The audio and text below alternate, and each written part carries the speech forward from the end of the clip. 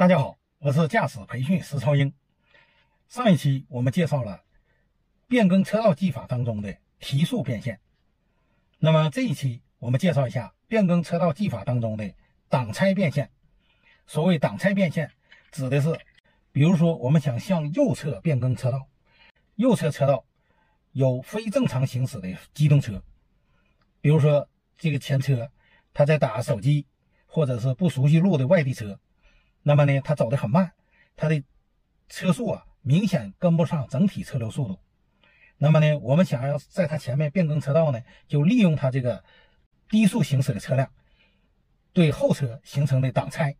我们利用这个挡拆超过它之后，在它前面变更车道。这个挡拆呀，可以是机动车，也可以是非机动车，或者是行人，或者是前方有一个障碍，有一个坑，有一个什么障碍。旁边的车行驶到挡拆这个障碍物的跟前呢，一定会降速。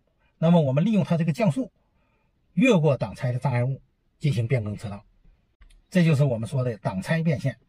那么这一期我们就介绍一下变更车道技法当中的挡拆变线。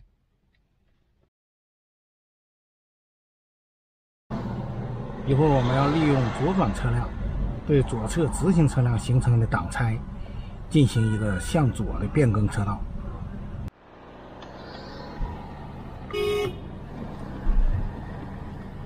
左转对直行有影响，我们可以变更车道。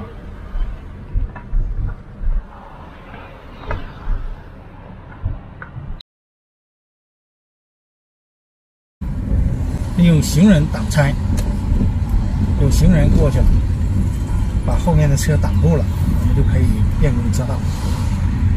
利用行人挡拆，有行人过去了，把后面的车挡住了。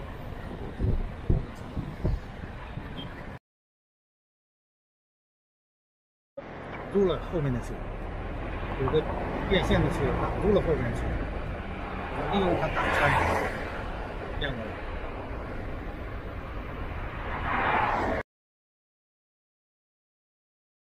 我们要利用前方。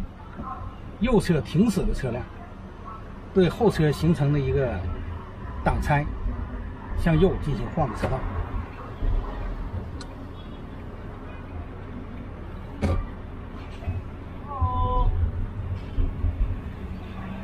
利用右侧停驶的车辆对后车形成的挡拆向右换个车道。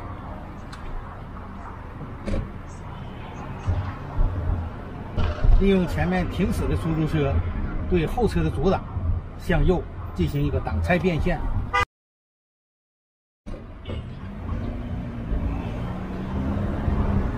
这一期我们介绍了变更车道技法当中的挡拆变线。